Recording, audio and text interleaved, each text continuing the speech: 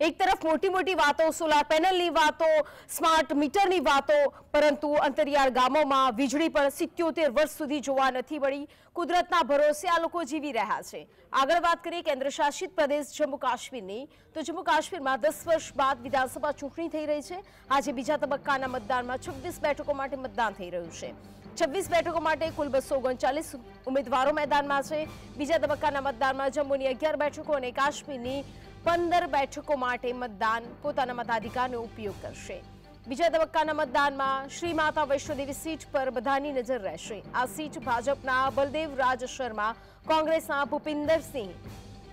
જેકેપીડીપીના પ્રતાપ કૃષ્ણ શર્મા મેદાની છે